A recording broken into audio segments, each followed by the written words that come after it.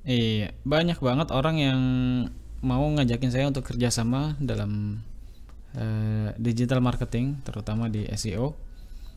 Tapi uh, saya akhirnya banyak belajar ya. Emang udah lama banget orang ngajakin kerjasama.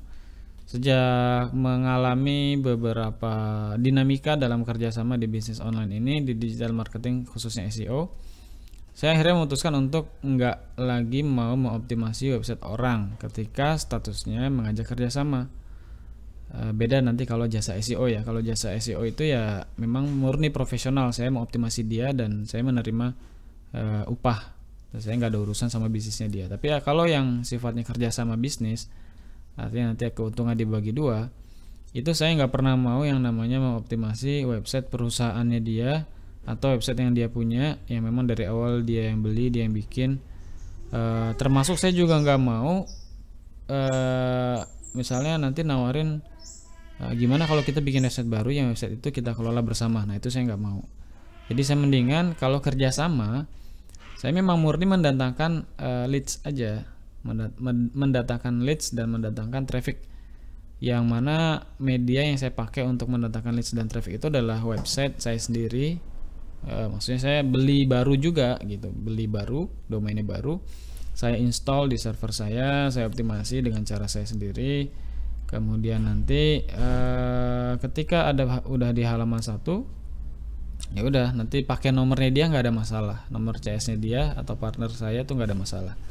Kenapa saya menggunakan uh, metode atau apa ya uh, kebijakan seperti ini karena ada beberapa hal yang kita tetap perlu jaga ya. Terutama dalam risiko-risiko dalam berbisnis.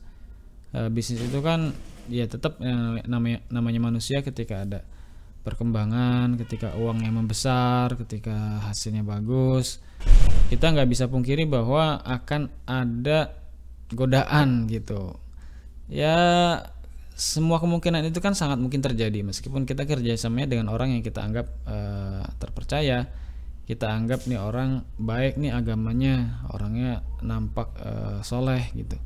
Tapi yang namanya uang itu ya bisa menggoyahkan semuanya ya.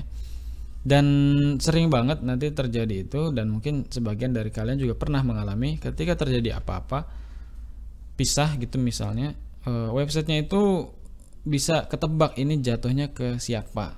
Ya pasti ke dia bukan ke kita yang melakukan optimasi. Kebanyakan kasus seperti itu. Karena e, merasa ya ini website saya kok gitu kan. Ya ini berarti ketika terjadi apa-apa ya ini balik ke saya. Nah hal-hal semacam ini bisa dihindari dengan yang barusan saya jelaskan.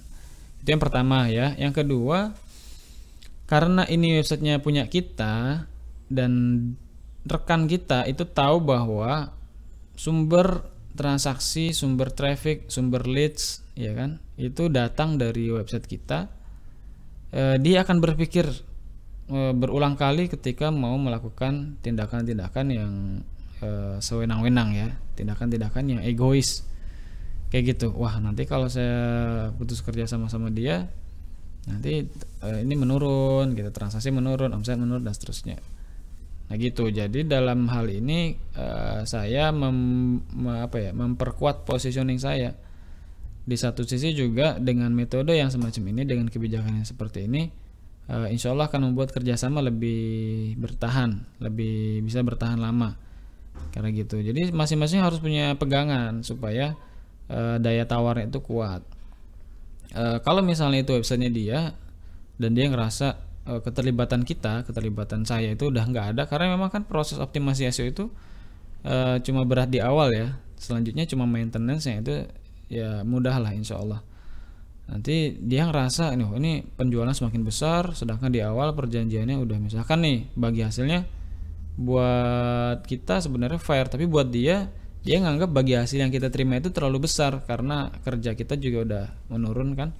Nah, yang kayak gini-gini nih e, sangat mungkin terjadi di kemudian hari. Maka perlu dibikin kesepakatan-kesepakatan yang jelas di awal dan salah satu yang saya lakukan adalah dengan e, seperti yang barusan saya jelaskan.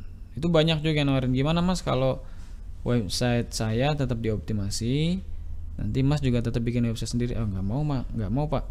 saya eh, kalau mau kerja sama saya caranya begini kalau enggak ya saya juga nggak nggak mau seperti itu Eh, karena juga pernah beberapa kali terjadi eh, terus bisnisnya berhenti nggak berjalan. Akhirnya websitenya saya jual aja ke pelaku bisnis yang serupa orang lain yang bisnisnya serupa. Akhirnya ya bisa laku dengan harga yang lumayan seperti itu. Akhirnya saya juga nggak rugi banyak ya. Artinya eh, tetap berakhir buat saya juga tetap berakhir happy ending buat saya gitu nggak nggak ada hal-hal yang e, menyulitkan lah kira-kira begitu. Nah ini anak udah ini ya udah rewel. Untuk video kali ini di video ke 58 saya akhiri. Semoga ada manfaatnya. E, sampai jumpa di video ke 59